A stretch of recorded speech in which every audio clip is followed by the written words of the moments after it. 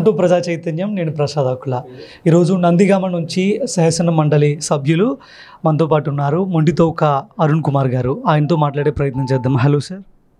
నమస్తే చెప్పండి. నందిగామ అనగానే తెలుగుదేశం పార్టీ కంచుకోట. రెండు వేల పంతొమ్మిది ఎన్నికల తర్వాత ఆ పేరు పూర్తిగా కనుమరుగైపోయింది. సో రెండు వేల పంతొమ్మిది రెండు వేల పంతొమ్మిదికి ముందు పంతొమ్మిది తర్వాత నందిగామలో డెవలప్మెంట్ విషయంలో ఎలాంటి మార్పులు వచ్చాయంటారు? First of all Nandigama Telugu Desam party Kanchikota అనేది ఒకప్పుడు. ఆ కంచికోట బద్దలయ్యి ఐదు సంవత్సరాలు అయింది ఇప్పుడు రెండు వేల ఇరవై నాలుగులో అప్పుడు కంచికోట బద్దలు కొట్టాం. ఇప్పుడు దాని మీద ఏమైనా పునాదులు ఉంటే కింద లోపల ఏమైనా ఉంటే ఆ పునాదులతో పాటు మొత్తం పిగిలిస్తున్నాం. సో ఎప్పుడు కూడా ఇది కంచికోట టీడీపీ కాదు. ఎప్పుడు గెలిచినా సరే పంచ నాలుగు వేలు ఐదు వేలతోనే గెలిచింది తప్ప ఎప్పుడు కూడా కంచుకోట కాదు.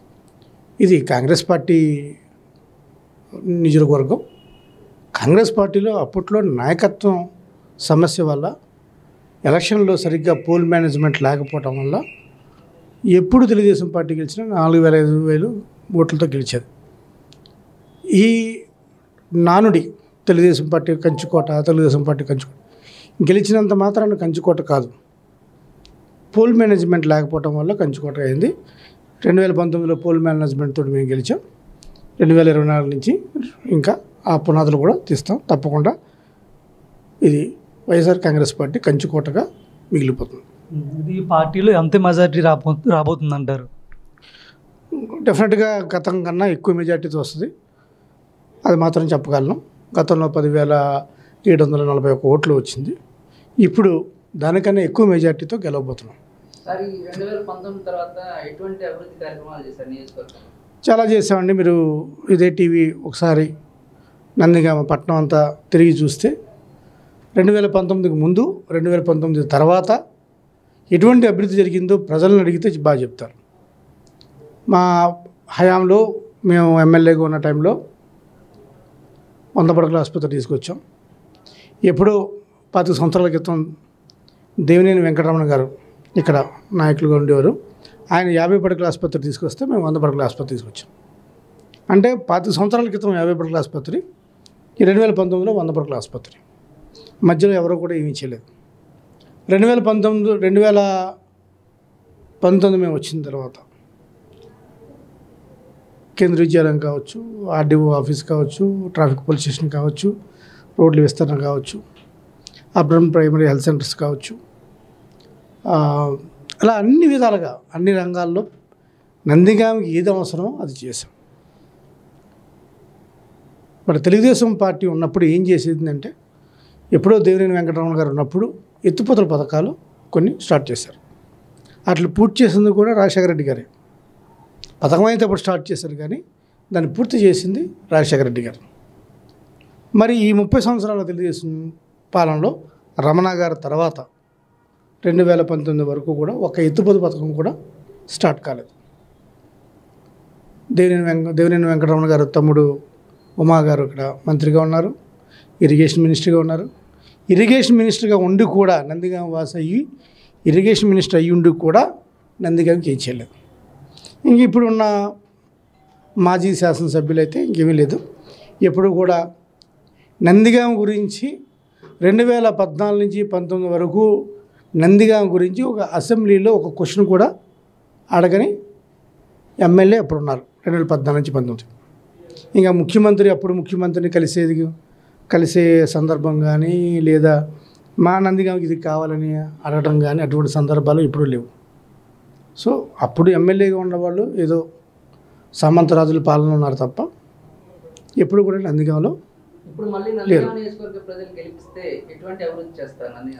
తప్పకుండా మన నందిగామ మన మేనిఫెస్టో ప్రకారం మేము ఆల్రెడీ వివరించడం జరిగింది. సుమారు ఇరవై ఐదు పాయింట్లతోటి మేము మా మేనిఫెస్టోని రిలీజ్ చేసాం నందిగామ చరిత్రలో ఇంతవరకు ఎవరూ కూడా నందిగామకు సంబంధించి మేనిఫెస్టో ఎవరు రిలీజ్ చేయలేదు. నందిగామకు సంబంధించిన మేనిఫెస్టోయే కాదు. గ్రామాల వారుగా మేనిఫెస్టోని రిలీజ్ చేసాం పీపుల్స్ మేనిఫెస్టో అంటారు పీపుల్స్ మేనిఫెస్టోని తయారు చేసి ఆ మేనిఫెస్టోలో పొందుపరిచిన అంశాలు అవన్నీ కూడా ప్రజల నుంచి సేకరించి ప్రజలకు ఏం కావాలో అది మా మేనిఫెస్టోలో పెట్టాం. మేనిఫెస్టోలో పెట్టడం కాదు ఆ నిర్దిష్ట గడువు పెట్టాం. ఏ సమస్యని ఎంతకాలంలో తీర్చబోతున్నాడు చాలా ట్రాన్స్పరెంట్. అంతేకాకుండా ఆ మేనిఫెస్టోని ఆ విలేజ్ లెవెల్ వచ్చే మేనిఫెస్టోని ఆ విలేజ్లో ప్రభుత్వ ప్రతి ప్రభుత్వ కార్యాలయంలో అంటించబోతున్నాం.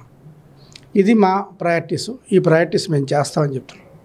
అదేవిధంగా నందిగా నియోజకవర్గానికి సంబంధించిన మేనిఫెస్టో సో ఇలా ఇన్ని చూసినా సరే పేదాద్రి ఎత్తిపోతల పథకం మరమ్మతులు కావచ్చు వెంకటప్ప కట్ట స్కీమ్ కావచ్చు గుడిమెట్ల ఫేజ్ త్రీ కావచ్చు Mogaluru Eturu high level bridge కావచ్చు అదేవిధంగా మన నందిగాం పట్టణానికి మేము ఏదైతే స్టార్ట్ చేసామో వంద ఆసుపత్రి దాన్ని వైద్య కళాశాలగా మెడికల్ కాలేజీలుగా చేయటం కావచ్చు.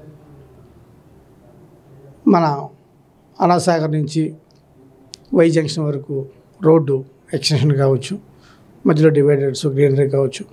ఈ నందిగాం పట్టణానికి ఇంత జనాభా ఉండి కూడా ఒక పార్క్ లేదు. పార్క్ కావచ్చు ఒక మినీ స్టేడియం కావచ్చు. రెండు నందిగాం పట్టణం మరియు కంచిచర్ల పట్టణానికి పట్టణంలో కాపు కళ్యాణ మండపాలు కావచ్చు. అదేవిధంగా నందిగాం పట్టణంలో ఉచిత విద్యార్థులకు ఉచితంగా అంబేద్కర్ స్టడీ సర్కిల్ కావచ్చు. అదేవిధంగా ప్రతి విలేజ్లో రైతులకు డొంక రోడ్లు బాగు చేయడం కావచ్చు. అదేవిధంగా నందిగామలో ఆటో నగర్ కావచ్చు. కంచిచర్లో lorry bus stand lorry stand కావచ్చు. అదేవిధంగా అన్ని గ్రామాల్లో శ్మశానాలు అభివృద్ధి చేయటం కావచ్చు స్థలాల కొనుగోలు చేయటం కావచ్చు. ముఖ్యంగా నందిగామకి పట్టుబడిస్తున్న సమస్య మంచినీటి సమస్య కావచ్చు. మంచినీటి సమస్యకు నందిగామ పట్టణంలో ప్రతి ఇంటికి కూడా కుళాయి వేసే ఏర్పాటు కావచ్చు. అదేవిధంగా కంజీచర్ల వీర్లపాడు మండలానికి కృష్ణానది నుంచి వేరు వేరు పైప్ లైన్ ద్వారా ఎవరి నీరు వారిది పైప్ లైన్ ద్వారా మంచినీటి సరఫరా కావచ్చు. ఇక కృష్ణానది చూసుకుంటే మా ఆ, ఎక్కువ కృష్ణానది వెళ్తూ ఉంటుంది. ఆ కృష్ణానది వాలు గుంటూరు జిల్లా వైపు ఉంటుంది. నీరు అటువైపు పారుతుంది ఇసుక అంత ఇటువైపు ఉంటుంది. పేరుకే మా కృష్ణానది నీళ్ళు మాత్రం వాళ్ళంతా కూడా అటువైపు ఉంటుంది. ఆ కృష్ణానదిని తీసుకొచ్చి ఆ పాయిల్ చేసి పాయిల్ ద్వారా ఎత్తిపోతల పథకాలకు నీరు అందించే కార్యక్రమం కావచ్చు. ఇలాగ అనేక కార్యక్రమాలని మా మేనిఫెస్టోలో పొందుపరచడం మేము చాలా క్లారిటీగా ఉన్నాం. ప్రజలకు ఏం చేయాలనుకుంటున్నాము? ప్రజలకి ఏం అవసరం అనేది స్పష్టంగా ఒక క్లారిటీగా ఉండి దానికి అనుగుణంగా పనిచేస్తాం. ఈ ఐదు సంవత్సరాల్లో మా మేనిఫెస్టో మీద మేము పనిచేస్తాం. జగన్ గారు ఇచ్చిన మేనిఫెస్టో రెండు వేల పంతొమ్మిది నుంచి ఇరవై నాలుగు వరకు ఇచ్చిన మేనిఫెస్టో ఏదైతే తొంభై తొమ్మిది శాతం హామీలు అమలు చేశారో అదేవిధంగా మా మేనిఫెస్టోను కూడా తొంభై తొమ్మిది శాతం కూడా మేము అమలు చేయాలని కృతనిశ్చయంతో మేము ఉన్నాం. ఎన్నికల ప్రచారం ఎలా జరుగుతుంది? ప్రజల నుంచి ఎలాంటి ఆదరణ వస్తుంది? అపురూపమైన స్పందన వస్తుందండి. ఈరోజు ఏదైతే సంక్షేమ పథకాలు అభివృద్ధి ఫలాలు అందుకున్న ప్రజలు సామాన్య ప్రజలు ఎప్పుడెప్పుడు జగన్మోహన్ రెడ్డి గారి రుణం తెచ్చుకుందామా ఎప్పుడెప్పుడు జగన్మోహన్ రెడ్డి గారికి ఓటేద్దామని ఉంది. ప్రజల నుంచి అపూర్వ స్పందన ఉంది. నేను చెప్పాను కదా గత మెజార్టీ కన్నా ఇప్పుడు ఎక్కువ మెజార్టీతో గెలుస్తాం.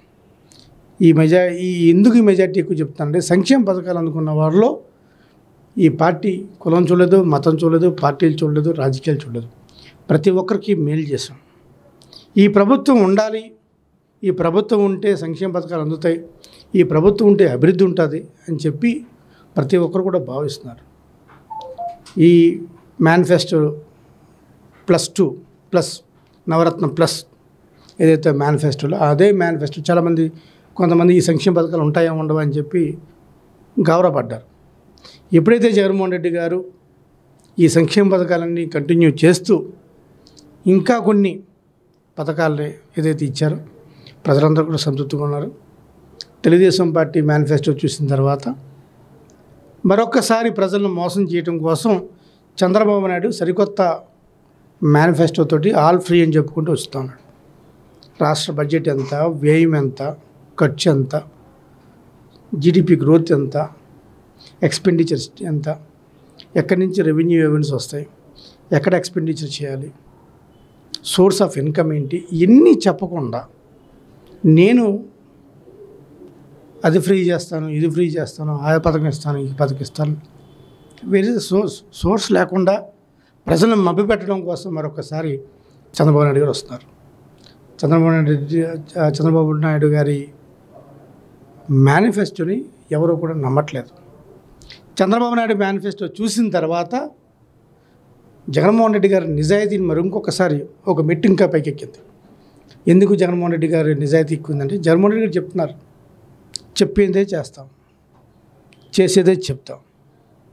వేరేజ్ చంద్రబాబు నాయుడు అలా చెప్పట్లేదు. మూడు పార్టీలు కలిసినాయి. మేనిఫెస్టోకి ఒక పార్టీ జారుకుంది. రెండోసారి పేపర్ ఏట్లడము పవన్ కళ్యాణ్ జారుకున్నాడు. ఇలాగా ఎవరికి వాళ్ళని పావులుగా వాడుకుని ఆయన ఏదో అధికారం సాధించుకుందామని చూస్తున్నాడు తప్ప ఆయనకి అధికారం రావటం అనేది కళ పార్టీ చేసిన అభి అభివృద్ధి కానీ తాము చేసిన అభివృద్ధి కానీ ఈ ఎన్నికల్లో రెండు వేల ఇరవై నాలుగు ఎన్నికల్లో పార్టీ మేనిఫెస్టో కానీ లేదంటే మన నందిగామ మన మేనిఫెస్టో పేరుతో వాళ్ళు చేసిన అభివృద్ధిని అడిగి ఓట్లు తెచ్చుకుంటామని ఇదే తప్ప తమను గెలిపిస్తుందని ధీమా వ్యక్తం చేస్తున్నారు. నందిగామ శాసనమండలి సభ్యులు డాక్టర్ అరుణ్ కుమార్ గారు.